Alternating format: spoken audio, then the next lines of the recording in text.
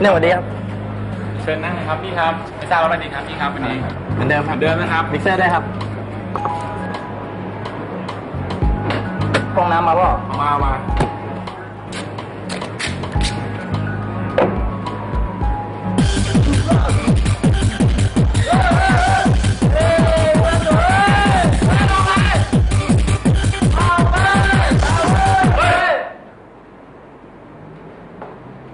บอกหน่อย